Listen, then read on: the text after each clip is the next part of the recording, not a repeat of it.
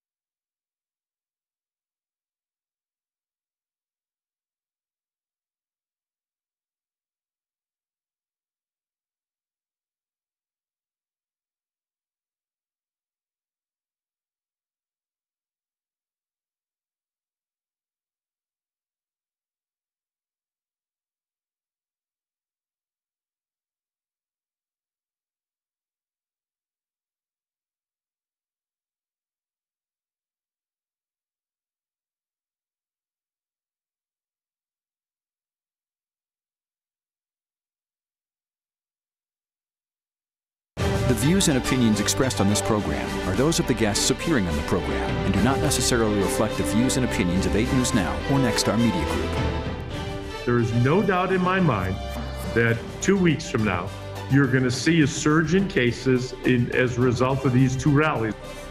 Tonight on Politics Now, Governor Sisolak fires back at President Trump after last week's big rally in Henderson. Plus, this was a peaceful protest. This was not a rally. Republicans say they're not being treated fairly by Nevada's coronavirus restrictions. Joe Biden and I are committed to reform that includes a national standard for use of force. And a one on one interview with Vice Presidential candidate Kamala Harris on wildfires, police reform, and gun control. From 8 News Now, this is Politics Now.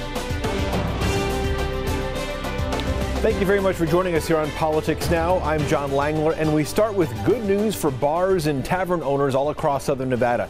After months of being closed by the coronavirus pandemic, they can reopen late Sunday night. Bars that serve food have been partially open. Bar tops, though, they've been shut down since July. Thursday, Clark County once again asked Nevada's COVID 19 task force to let them open up, and this time the task force agreed. All bars have to follow strict guidelines, though, including social distancing and operating at half capacity. The owner of Scoundrels Pub up in North Las Vegas says employees are happy to hear the news. Employees are very excited. Uh, everybody's excited to get back to work. Customers are excited. I've been getting text messages and Facebook messages. Uh, people want this. It, it's it's a good thing, and we're really happy. Clark County also asked the task force to allow conventions and churches to operate at half capacity and for youth sports to start again. The task force says Governor Sisolak would have to make those decisions in a new emergency directive. This week started, though, with a large President Trump rally in Henderson. That was on Sunday. Soon afterwards, well, the organizers were fined by the city. The rally was over at Extreme Manufacturing in Henderson, which is owned by Don Ahern. Now, as you can note from this video, in addition to being well over the 50 person limit, there was no social distancing. Many of the 5,600 people didn't wear masks. During his speech, President Trump continued his attacks on Governor Sisolak. Because this is a great place. You have a governor right now who's a political hack. We want to put violent criminals behind bars and tell your governor to open up your state, by the way. Open up your state. Now, we're going to hear more uh, from the president's speech a little later on. The city of Henderson fined Extreme Manufacturing $3,000 for six violations of Nevada's COVID 19 directives. Owner Don Ahern held a press conference the day afterwards. Now, he compared the Trump rally to people who have been gathering at gaming tables, pool parties, and recent Black Lives Matter protests. My goal was to continue the great American traditions of the right to assemble and to free speech. About a month ago, Ahern was also fined $250 by the city of Las Vegas. That was for a Trump campaign rally at his Ahern Hotel, which is near the Strip in Sahara. There was also a beauty pageant held the day afterwards. Governor Sisolak quickly responded to all of this. He called the president's rally dangerous, selfish, and reckless. He sat down with the I Team's Vanessa Murphy. Let's start with President Donald Trump. He called you a political hack, told his supporters to tell your governor to open up your state. Your response? Well, I think that I don't know where he comes up with the political hack. I thought he was talking about his golf game or something. I don't know. Uh, you know, I don't know how I can respond to President Trump and what he said.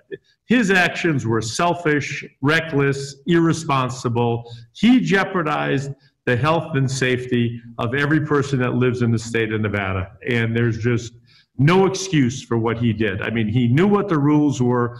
Those rules were developed in coordination with the White House. I mean, the, the populated, the limited gathering space. If you were red zone, it had to be 10, yellow, you could go to 25. We made it 50. He knew what the rules were and chose willfully to just disregard them. And then his comment that he wasn't worried about, you know, getting the virus. Well, I'm not worried about him getting the virus. I'm worried about the 3 million people that live here getting the virus. And I just think it was very, very selfish of him to do what he did. What about the criticism that the protests that have happened, the protests that have been happening, don't get as much criticism? Okay, well, the protests get plenty of criticism. The difference is that you have a business. Let's take, for example, a gathering. Businesses we can regulate uh, because they're licensed. You need to go in like a casino could not have what they did at that manufacturing facility uh, because they have a gaming license and they know what the rules are. But you can't control. The casinos are having a real problem. If you're inside the casino, you're going to follow the guidelines. You walk out on the strip after you leave one casino walking to another one, or you walk on Fremont Street. There's really nobody in charge of you when you're out there. We don't have law enforcement handing out tickets. There's not a group of people that are giving violations or ambassadors that are saying, you know, you got to put your mask on, you got to socially distance. We don't have any of that. You know, we count on people being responsible. And unfortunately, in this case, they simply were not irresponsible. We were not responsible. They were irresponsible. The president is saying you were behind this effort to make sure his rallies and campaign events did not happen. You said you were not part of that. The next question is no one from your office, no one from your administration made any phone calls? No one made any phone calls with these rallies. You know, I read about them in the paper and online just like everybody else did. I don't know who the Trump campaign or whoever it might be called at the airport, both in Tahoe, both in Reno and in Las Vegas. And thank goodness those businesses were responsible enough to tell them no it would be going against the governor's directive if we did host a rally like that. There is no doubt in my mind that two weeks from now, you're going to see a surge in cases in, as a result of these two rallies, one that was held up in Minden and the one that was held in Henderson. The one in Henderson, it couldn't have been worse. It's a confined area. There's not a lot of circulation of air. A lot of people were not wearing masks. And I'm sure some of the people behind the camera put them on when they were taking shots. But you, you looked at the audience, all the views I saw, people were not basically mostly wearing masks. They weren't distanced. They were in large groups, and there a lot of uh, particulates are coming out. They're hollering, they're chanting, they're cheering, that sort of thing, which helps spread the virus. That's what spreads it.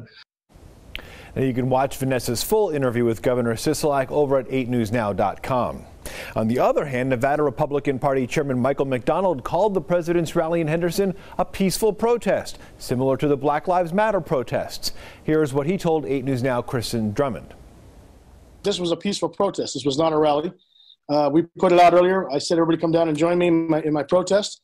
This is no different than BLM. So if the governor is going to allow in the city of Henderson, the city of Las Vegas, Clark County, they do no actions against BLM when they take on the strip, when they march up and down the strip, when they burn stuff, when Officer Shay got when Shay got sh- uh, shot. When you start to see that, and there's nothing that's done to them, not one thing. The governor's never done anything to them. The city's never done anything to them. They just let them do it. But when we want to have our right to assemble, we hold a peaceful protest, and nothing's done. That's a problem. People at the president's rally also held signs saying, quote, this is a peaceful protest. McDonald has started a GoFundMe page to help Ahern pay that $3,000 fine. Well, the November election is just 45 days away. All registered voters in Nevada should get a mail in ballot. Critics of this process don't trust it. We had our Vanessa Murphy go to the man in charge of Clark County elections, Registrar Joe Gloria. She has more from election headquarters in North Las Vegas. There's a lot of misinformation about the upcoming election. We want to clear that up for our viewers. And I have Clark County Registrar Joe Gloria here to help clear this up. We are in front of the room where the ballots will be counted. And that's one question. How can voters be sure that their ballot was received and will be counted? All voters will have the opportunity to go on our website. Through Registered Voter Services, they can uh, log in and there's information there that tells them what the status of their ballot is. Or they can always call 702-455-VOTE and speak with one of our customer service representatives. There is a concern about voter fraud. If there are extra ballots by mailboxes, especially apartment complexes, or someone picks up a ballot that's not theirs, that they can fill it out, sign it. What can you say about voter fraud? Well, first off, that would be an illegal action. It would be against the law for anybody to vote a ballot that is not theirs. However, we have several checks in place. Number one being every ballot that comes in has to be signed. We verify that signature to make sure it matches what's in the database to verify their identity. And there are several steps that we have as far as security also leading into the tabulation of that ballot. President Donald Trump has suggested voting twice. What would you say to that? That would be an illegal action. Um, and it's unfortunate that those types of statements are made. I would discourage any voter from trying to do so. We will definitely know if you've casted two ballots, and we will go after any voter who is illegally voting twice. Southern Nevada, Las Vegas, it's a transient location, and especially now with the pandemic and job losses, people might be in between homes how can you be sure that they will receive a ballot? Voters need to make sure that they're checking to be sure that their information is correct.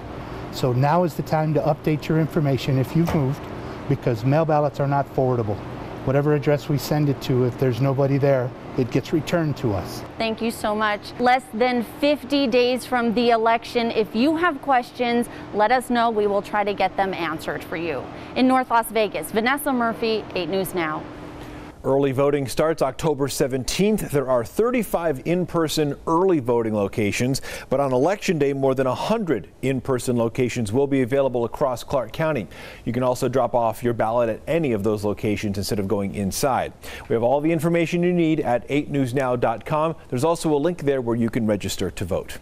Coming up next on Politics Now, one on one with Senator Kamala Harris. We ask the vice presidential nominee about police reform and an assault weapons ban coming up.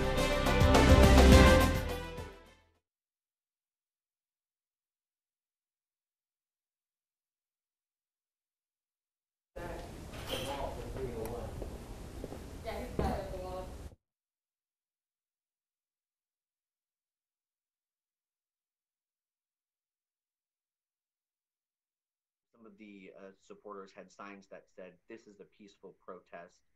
Um, they're comparing the crowds at these rallies to the protests that we've seen recently.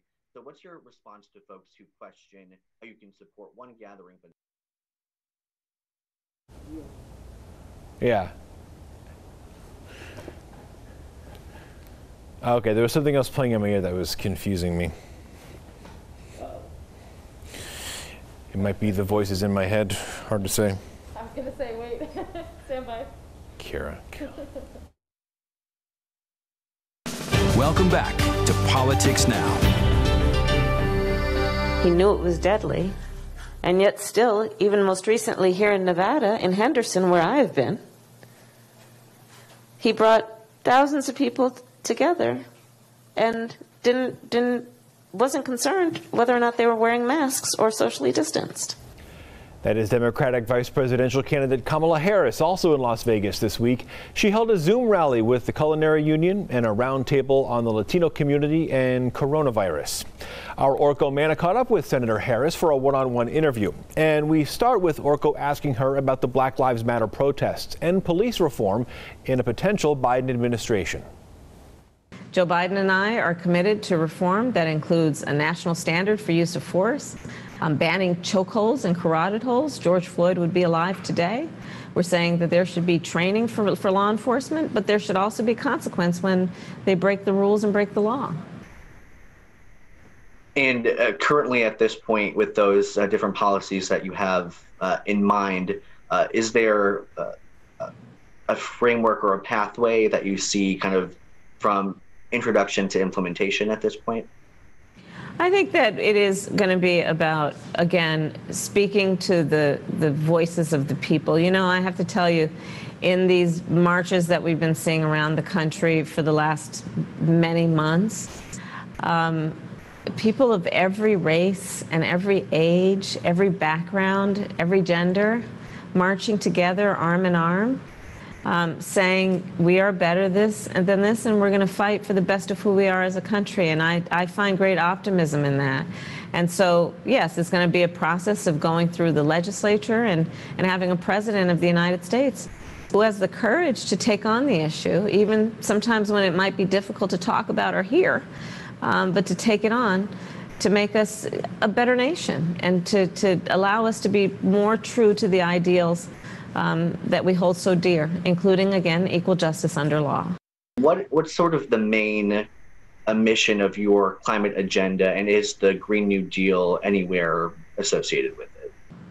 Our agenda is about acknowledging the science, and it, it, we can't afford to deny it any longer. We are going through a climate crisis, and you can see that in the wildfires that are getting worse and worse in California each year. You can look at the storms that have ravaged the Gulf Coast. Um, we're seeing extreme weather conditions, and and it, it is attributable to, to, in large part, human behaviors that we can we can adapt to this moment. And so that's about pushing for a clean energy economy. Joe Biden and I want to create jobs, and we understand that investing in infrastructure, including renewable energy and clean energy, that's going to be a huge job creator. I want to switch gears uh, now a little bit um, to gun control, an issue important to uh, many people in the uh, Las Vegas area, especially after the 1 October mass shooting. Mm-hmm. Um, I know, I'm just curious to know if you um, and VP Biden would institute an assault weapons ban.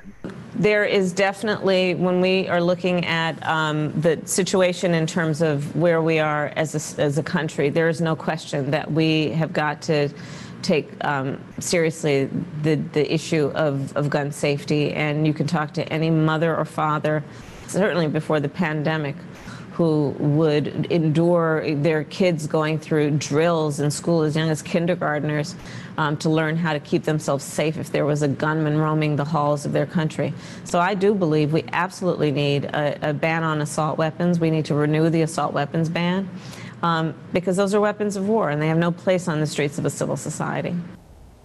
You can watch Orko's full interview with Senator Harris on 8newsnow.com. An end to temporary protective status. Coming up next on Politics Now, the court decision on the Trump administration's efforts to end TPS. We'll tell you how many Nevadans it will affect. Plus, I'm Alexandra Limon in Washington. Coming up, I'll tell you when top U.S. health officials expect a COVID 19 vaccine to be widely available and what they say could be more helpful than a vaccine in fighting the pandemic.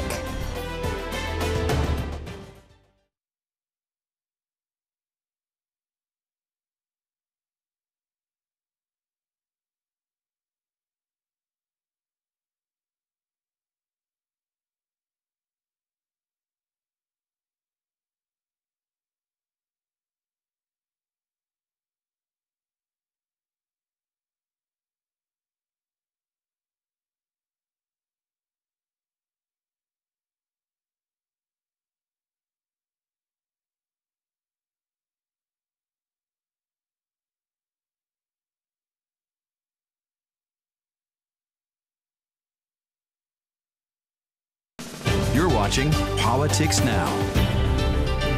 This week, a federal appeals court ruled the government can end temporary protective status for more than 400,000 immigrants.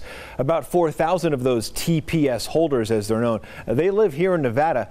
More than 3,000, as you see there, are from El Salvador. Others are from Haiti, Nicaragua, and Sudan. The Trump administration says it wants to end TPS for people from those countries because it says gang members were coming over the border with them. Uh, the president also says that this is meant to be temporary, but now it's permanent. Miguel Bajarona is a TPS Nevada committee member, and he's lived here in the U.S. for 25 years. How would you feel if the government of that country, after 20 or 25 years, comes and make a decision and say, "You guys don't belong here. You guys need to go back to, to your countries." That group plans to continue advocating for a path to permanent residency or citizenship for people with temporary protective status. Since the pandemic began, more than 6.5 million Americans have caught the coronavirus. More than 195,000 people nationwide have died.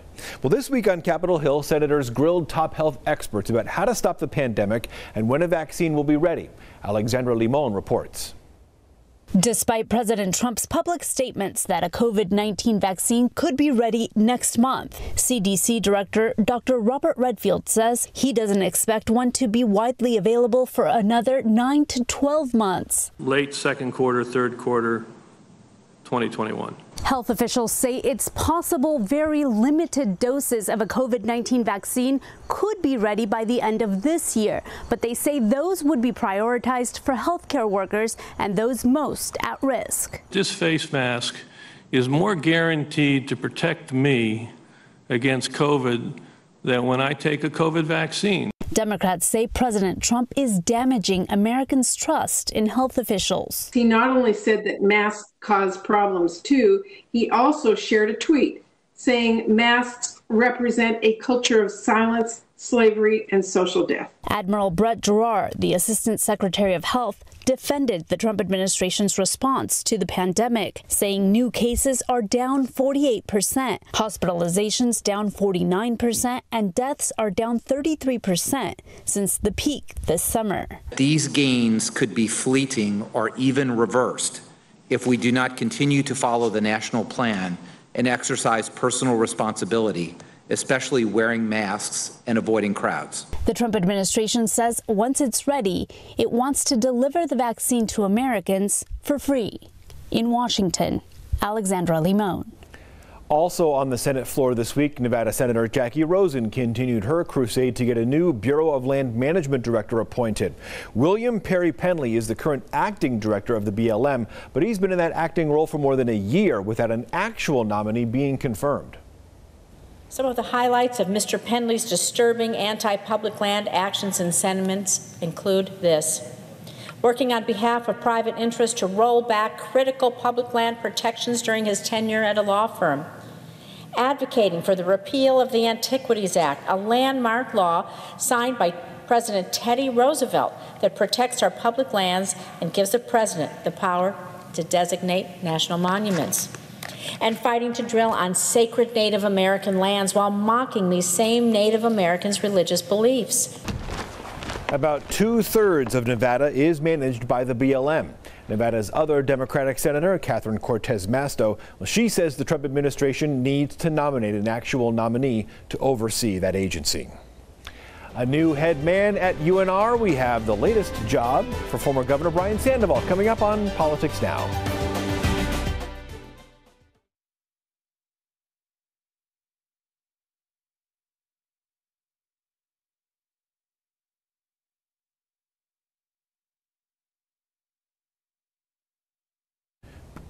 UNR President slash future Senator Brian Sandoval.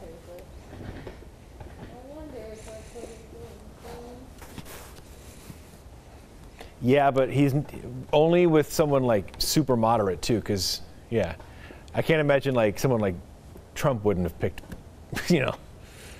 No, no, no, I know, yeah.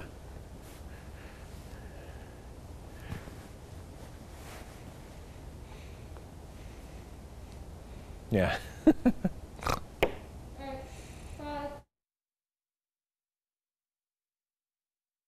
You're watching Politics Now. Finally, on politics now, former Nevada Governor Brian Sandoval has a new job. He's the president up at UNR. Thursday afternoon, the Board of Regents voted to give him the position at the University of Nevada, Reno, the first Hispanic president in the school's history. Sandoval is currently a distinguished fellow at UNLV's Boyd School of Law. He briefly also worked at MGM. He takes over at UNR October 5th. The decision was never really in doubt, actually. In fact, the press release that announced Sandoval as the new president was sent out before the regent's vote actually took place. As you may know, Brian Sandoval was the governor here in Nevada between 2011 and 2019. And that is all we have for you this week on Politics Now. Don't forget you can stay up to date on politics online and watch us every Saturday. Just check out 8newsnow.com. We'll see you next week.